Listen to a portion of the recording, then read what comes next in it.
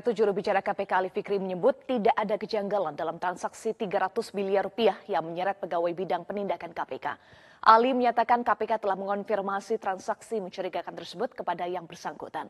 Ali menyebut nilai jumbo ini merupakan akumulasi transaksi jual beli pribadi sejak 2004 hingga 2018. Ali juga menyatakan pegawai tersebut telah selesai bertugas di KPK dan kembali ke kepolisian.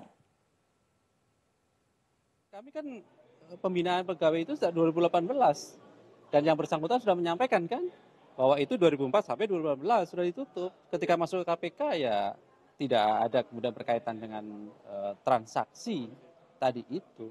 Sejauh ini seperti itu yang kemudian uh, kami sudah konfirmasi yang bersangkutan. Ke depannya seperti apa yang bersangkutan yang pasti kan sudah konfirmasi juga kan kemarin menjelaskan di media bahwa uh, itu tidak ada kaitannya ketika tugas di KPK